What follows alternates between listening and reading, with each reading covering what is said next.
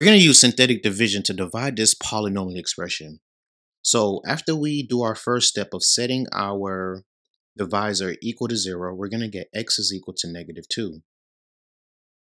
So we set our problem up. We know we're dividing by negative 2, and our coefficients are 3, 10, and 11.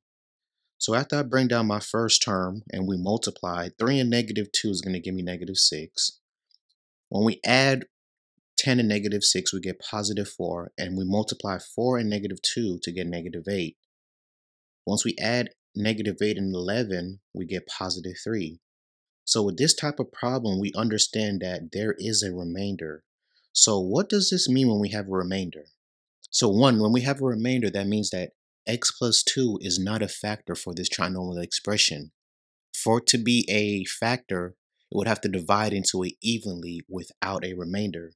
And the answer that we're going to get once we divide is going to be 3x plus 4 plus 3 divided by x plus 2. This would be our final answer after dividing that trinomial expression.